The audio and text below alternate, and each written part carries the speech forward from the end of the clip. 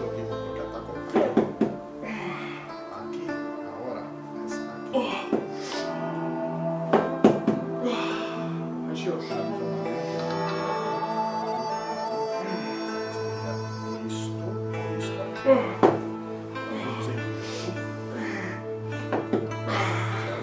Acho que a gente